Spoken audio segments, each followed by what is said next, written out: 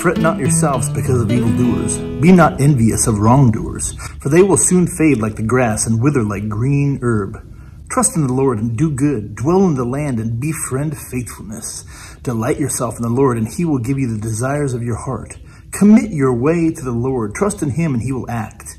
He will bring forth your righteousness as the light and your justice as the noonday.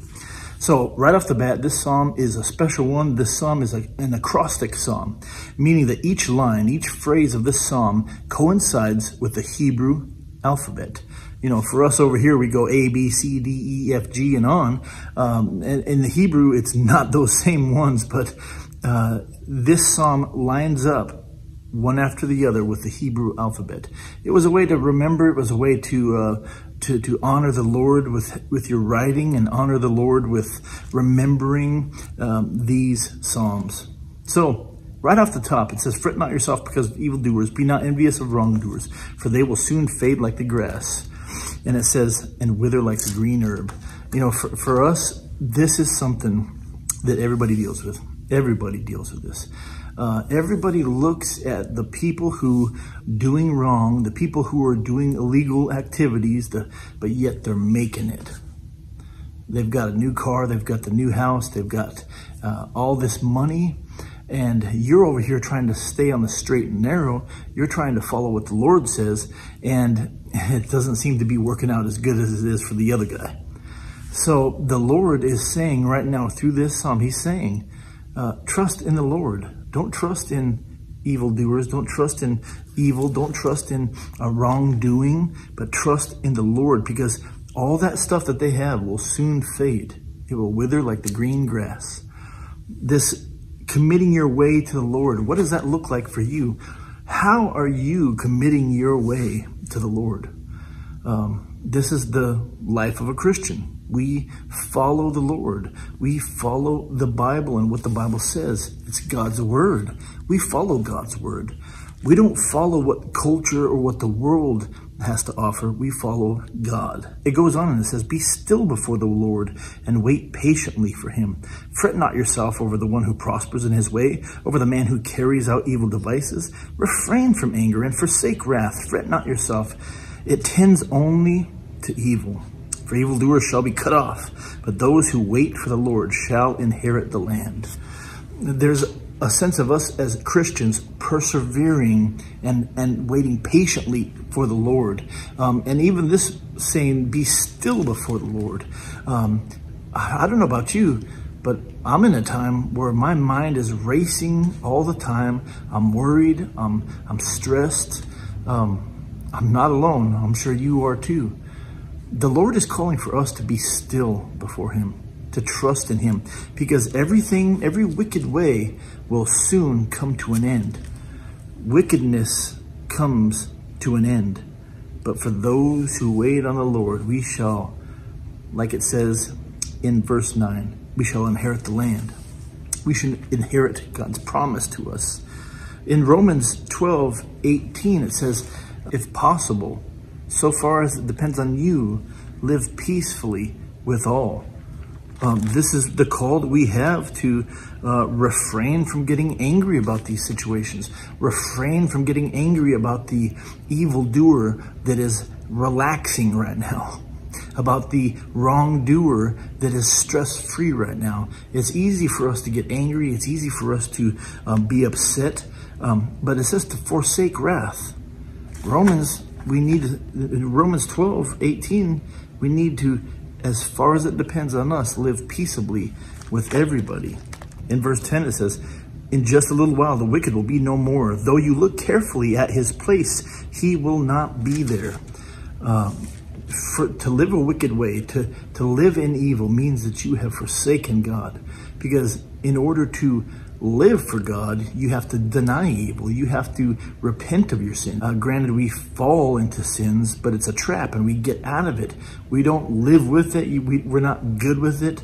Um, and so for us, when we think about what it would look like, understand that, that for those that believe in Jesus, we've turned from our wicked ways. We've repented, and now we're following Jesus Christ. Um, it's different. Our our eternity will be with him, will be in heaven, will be with God. But for the wicked, there will be an end to the comfort that they experience. There'll be an end to the stress-free life that they have. It'll be an end when the Lord judges the wicked. But the meek shall inherit the land and delight themselves in an abundant peace. The word meek is special. Meek is strength under control. It's power restrained. We trust in the Lord's timing. We don't take matters into our own hands. We don't get wrathful. We don't get vengeful. We don't bring out anger. We trust God that he will fight the battles. Because it says that we don't battle against flesh and blood, but we battle against darkness, principalities, and spiritual powers. We don't battle against people. For us that are Christians, we sacrifice ourselves for people. We don't have that ability or that right to be able to be angry or wrathful.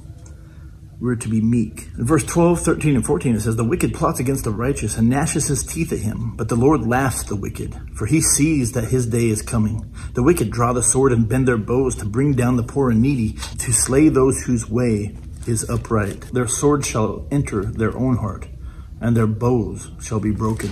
This is a common theme, a common thing that happens throughout the Bible, that those who lash out wickedly at others uh, uh, hurt themselves in the process. It's like that old Chinese proverb that says, if you dig a grave for your enemy, make sure you dig two. This is what happens. When we lash out, when we violently attack, and we take matters into our own hands, we enact vengeance on somebody, um, it eventually or immediately hurts us. Haman did it in the Bible in, in the book of Esther, where he created a hangman's noose for Mordecai, but he ended up hanging from his hangman's noose, uh, the same as Saul. As, Saul's attacking David, Saul ends up dying it's, it's this common thread throughout the Bible. If you enact violence to another, violence comes on you. If you live by the gun, you die by the gun. That's the understanding of it. Better is the little that the righteous has than the abundance of many wicked. For the arms of the wicked shall be broken, but the Lord upholds the righteous. The Lord knows the days of the blameless, and their heritage will remain forever. They are not put to shame in evil times. In the days of famine they have abundance, but the wicked will perish. The enemies of the Lord are like the glory of the pastures. They vanish. Like smoke, they vanish away. The wicked borrows, but does not pay back. But the righteous is generous and gives. For those blessed by the Lord shall inherit the land, but those cursed by him shall be cut off. This is uh, another look at the wicked are here for a time, just like the green grass is, is here in spring, but in the winter is gone.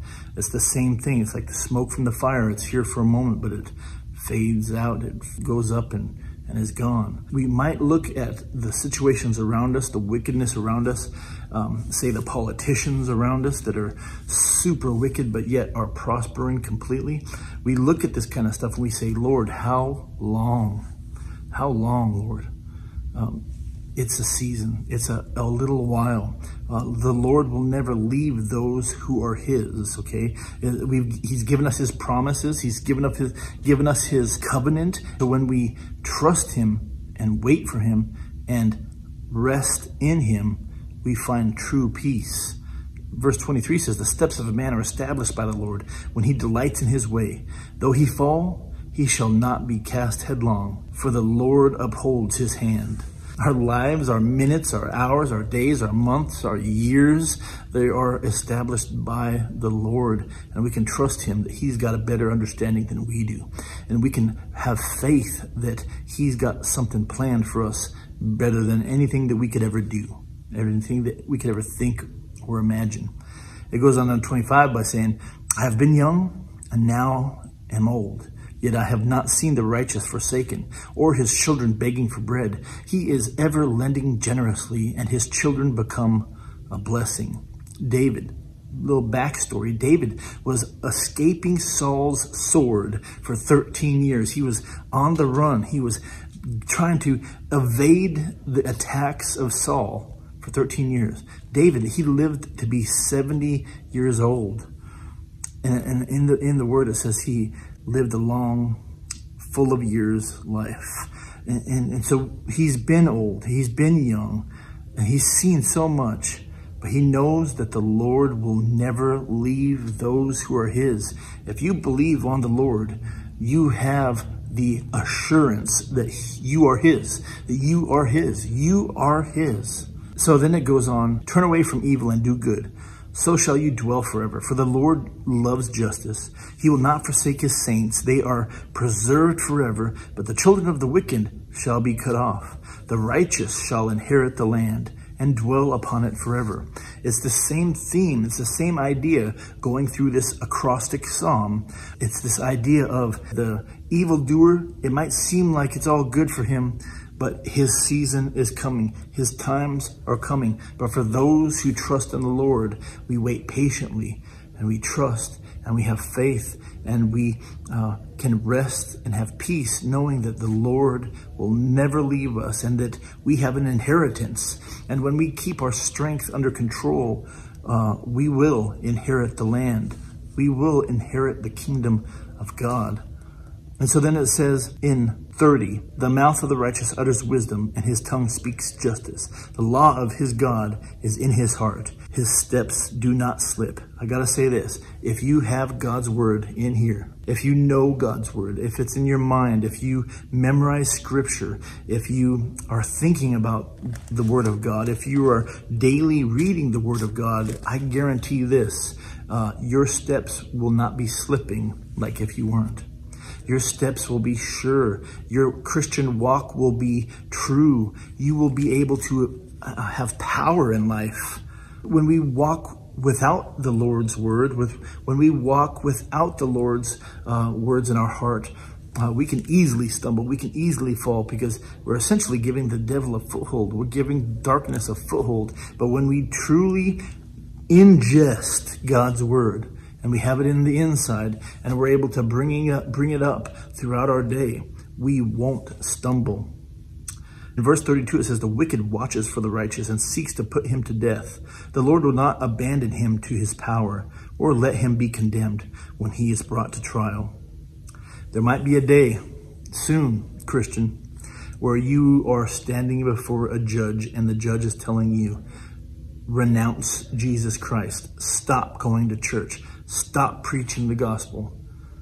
The Lord is even going to be with you then. He will be with you. He will be guiding you. He will be giving you the words to say. In verse 34, wait for the Lord and keep his way, and he will exalt you to inherit the land. You will look on when the wicked are cut off.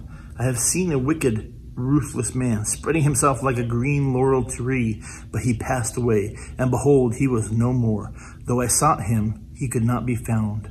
Mark the blameless and behold the upright, for there is a future for the man of peace, but transgressors shall be altogether destroyed. The future of the wicked shall be cut off. The salvation of the righteous is from the Lord. He is their stronghold in the time of trouble. The Lord helps them and delivers them. He delivers them from the wicked and saves them because they take refuge in him. The man of peace can walk in peace and walk without anxiety, without anxious feelings, without stress, without worries. Uh, because I don't know about you, but I can look around our world today and get worried. I can look around our culture today and be frightened about the future.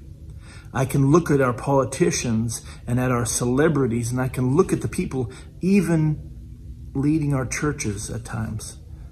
And I can see that the wicked are only here for time. For you today, I hope that you will, one, trust that the Lord will never leave you and has the best for you.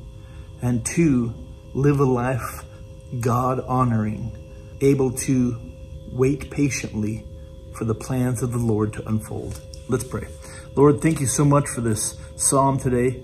Thank you for the fact that, uh, Lord, we can trust you and we can wait for you. And, and even when we see evildoers all around us, when we see corrupt politicians, when we see um, different issues throughout our culture, abortion and gay marriage and all this other stuff, uh, we know, Lord, that you will preserve us. You will keep us. And Lord, we will inherit your kingdom. So, Lord, we give you all the honor, all the glory. It's in Jesus' name we pray. Amen. Hey, see you guys next week.